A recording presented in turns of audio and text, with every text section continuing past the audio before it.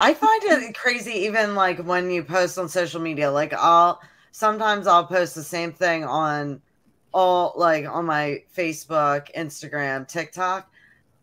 It's crazy that it will get like maybe like 10 to 15 likes on one. Another one, it'll get like 200. like, it's just. Well, that, that's your demographics, right? If you think about it, right? Because like Facebook is going to be older people. You're talking millennials, older usually.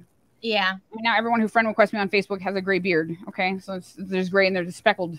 We're, we're getting there. You too, Chris. Uh, but FTF loves Facebook. right, but now if you because like because I hang around because I do uh my rap stuff, my solo stuff. Mm-hmm. If you say that you have, if I I've one time made the mistake of being at, at a bar and I opened my Facebook and like literally this fucking kid, this kid that was playing the show, he looked over and he's like, "Damn, you still have a Facebook?" And I was like, "I'm gonna kill myself now." I don't mean that. I don't mean that. I don't mean that. It was a joke, not a funny joke. I apologize. I wasn't trying to make light of it, but I am saying I wanted to take a long walk off a short cliff because I was like, damn. And it really was like, and it was like, oh, he was really, he was like, damn, you still have a face. Like it was, it was so loud, and I was like, no. So, so yeah. the Facebook thing is like not. So if you have posts that appeal to like the younger people, like you're gonna get like our maybe like early 30s, late 20s is Instagram, and then anybody 25 and younger is TikTok. So it's like